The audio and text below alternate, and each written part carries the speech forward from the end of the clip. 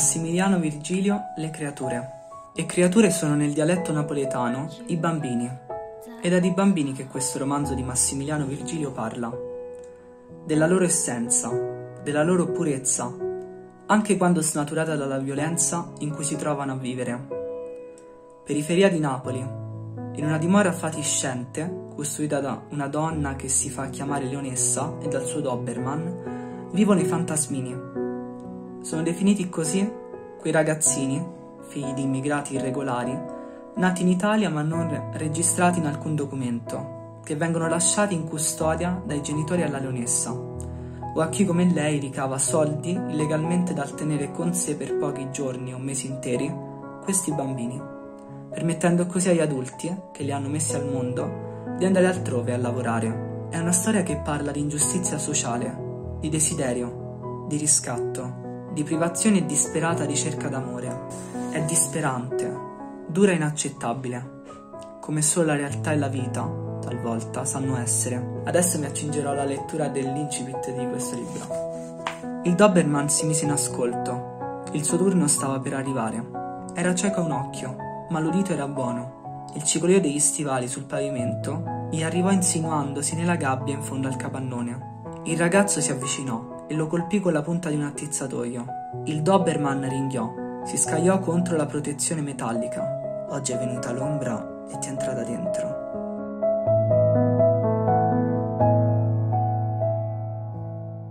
Malinverno di Domenico Dara. Astolfo è il nome del personaggio che nell'Orlando Furioso va sulla Luna a recuperare il senno perso da Orlando.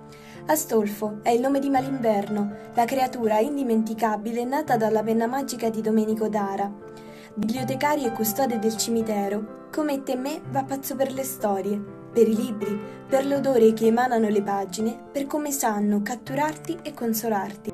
E allora immagina la scena. Siamo a Timpamara, un paese con una cartiera e un maceratoio. Nei giorni di vento, le pagine dei libri che attendono la fine vengono sparse come foglie per il paese.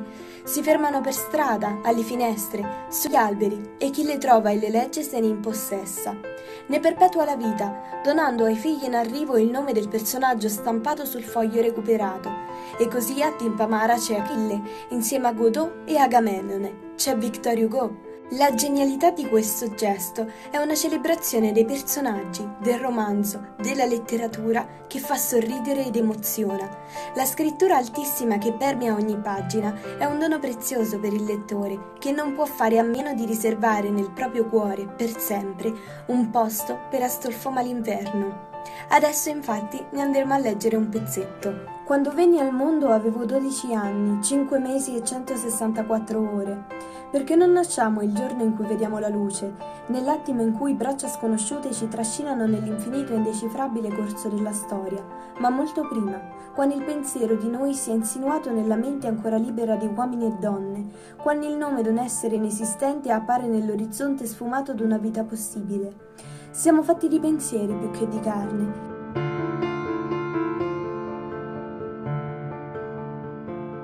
Solo un ragazzo di Elena Barbello. Sara e Pietro, Angela e Amelia, sono i quattro superstiti di una famiglia che da anni orbita attorno al vuoto lasciato dal figlio, dal fratello, dal ragazzo senza nome che è il protagonista di questo struggente romanzo. Ragazzo mite e gentile, che convive, nascondendoli, con i mostri che gli divorano l'anima, rubandogli quello che è il suo posto nel mondo, rendendolo estraneo a chi è più vicino e dovrebbe conoscerlo portandoci a pronunciare in preda al panico e alla disperazione Chi sei? Chi siamo tutti? sembrano chiedere queste pagine, in cui, con una forza rara, l'assenza si fa tangibile, onnipresente, indimenticabile. E chiudendo il libro non smette di esistere il potere evocativo che la scrittura di Elena Barbello possiede, tanto da sentirlo accanto, il ragazzo dei boschi, ancora un po', il tempo che serve a chiedergli perdono, per non aver capito e previsto, per non aver trovato il modo di insegnarle a salvarsi. I ragazzini che la trovarono avevano con sé due bombolette spray, qualche moneta, un accendino e sigarette rubate ai genitori. La scuola era finita, l'inizio dell'estate. Avevano imbrattato il muro di una stalla e la saracinesca di un vecchio ristorante scrivendo parolacce. Avevano comprato quattro ghiaccioli li avevano succhiati davanti alla vetrina del bar Gioia, guardando le automobili passare lungo la strada appena fuori cave. un ampio rettilineo, l'asfalto che friggeva.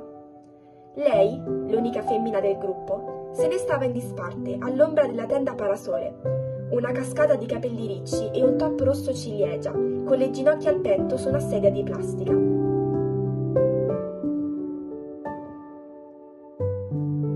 Laurima Messina, quel che affidiamo al vento. Il telefono del vento si trova in Giappone, non è collegato a nessun cavo, ma chi vuole può portarsi la cornetta all'orecchio e immaginare di fare una telefonata a chi non è più su questa terra. È un luogo per curare il dolore, per superare un lutto, per dire le parole che non si è avuto il tempo di dire.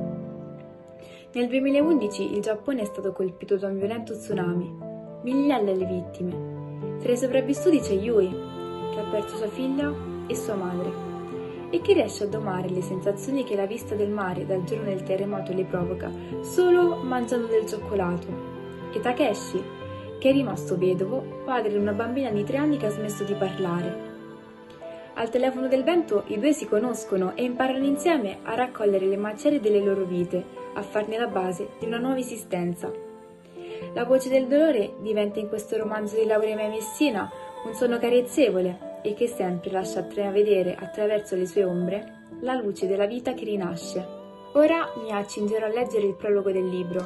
Un turbine d'aria schiaffeggia le piante del vasto giardino scosceso di Belgaria. Per difesa, la donna alza istintivamente un gomito davanti alla faccia, incurva la schiena. Subito però tornò cosciente, diritta. Era giunta prima dell'alba. Aveva visto salire la luce, ma il sole rimanere nascosto. Aveva scaricato i grossi sacchi dalla macchina, 50 metri di plastica del massimo spessore arrotolati a tubo, cilindri di nastro isolante, 10 scatole di chiodo d'anello da agganciare alla terra e un martello, con l'impugnatura Madonna.